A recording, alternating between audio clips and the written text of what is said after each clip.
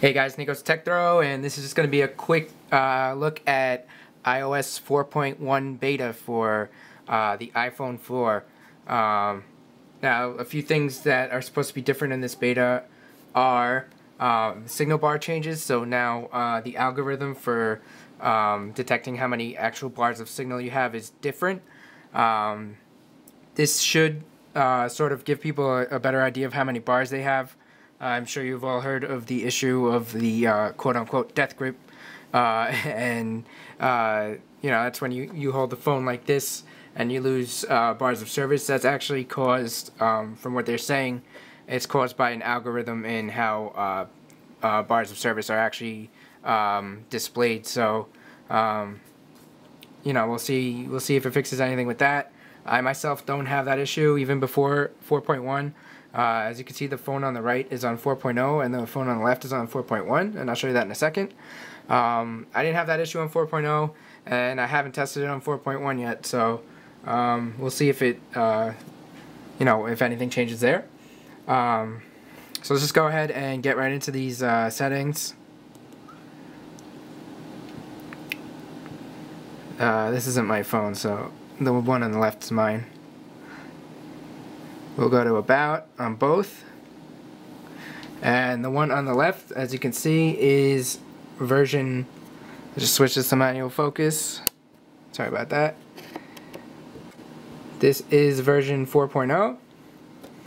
And this one is running version 4.1 beta, as you can see right here.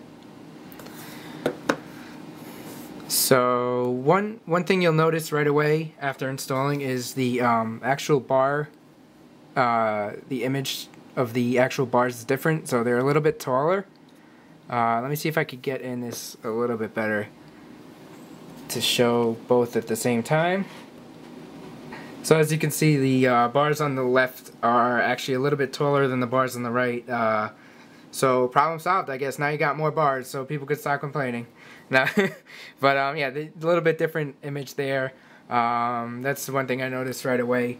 And something else, let's look at some different features. So, you know, we get rid of this phone now. We don't need to compare anything else really. Um, I'm to try to blow this real quick, blow through this real quick because uh, looks like my battery's about to die on my camera. Um, Alright, so a different feature we have is um, they've added Game Center to the beta again. So you go ahead and launch Game Center. That's Apple's service for games. And that's my email address showing there. But yeah, you could have friends I've got three friends so far. Uh, you can click on games, and it, there don't seem to be any games for this yet. And these are where your friend requests are going to be. And you can go ahead and request friends and uh, all that. But uh, they haven't actually implemented the service yet. They did change the GUI on it. Um, as you just saw, uh, if you saw the beta, the previous Game Center, that was on the previous beta.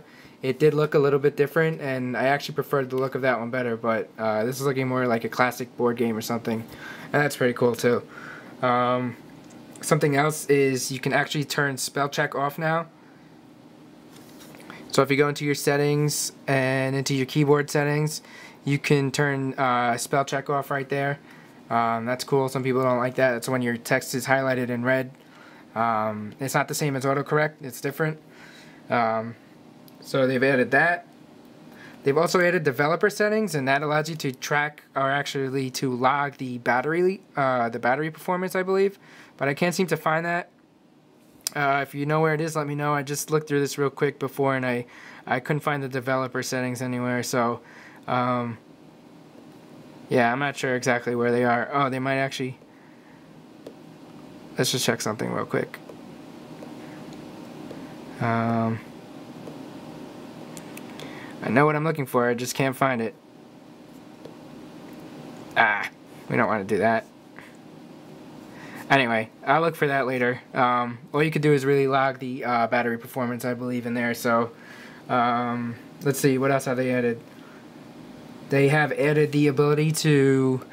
Now you have the ability to add people to your favorites. Um, as you know, you could add people to your favorites this way, and now when you add somebody who has an iPhone 4 to your favorites, you have the ability to add um, their FaceTime.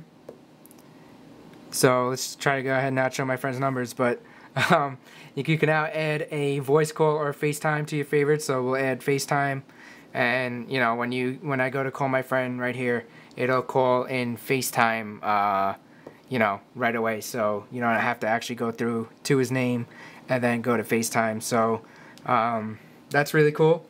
Uh, I believe that's all they've added to iPhone 4.1. Oh, there's one other thing. It's when you use your camera. And people are a little bit confused about this, so I'll go ahead and bring this iPhone here again, which is running 4.0. Open the camera on that. Now, on the new one, as you can see, uh, your flash and um, you know your camera toggle buttons are on the top. Now, when you flip it, they go back to the top again. Previously, they would go from the top, and when you flipped it, uh, they would just flip uh, orientation. So you would just see them actually, the icons actually flipping around like so. Now the difference is um, they actually go from uh, the top and they stay at the top like that. So um, here they are side by, side both in landscape mode.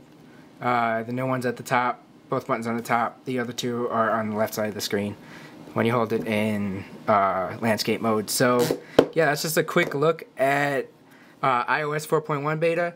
Uh, I'll let you know if I find anything else out about it. Uh, so far, that's all I know. And um, yeah, thanks very much for watching. And if you enjoyed this video, please subscribe and give us a little bit of a thumbs up. That helps us a lot. And that's it. Once again, I'm Nikos Tech Thanks for watching. Bye-bye.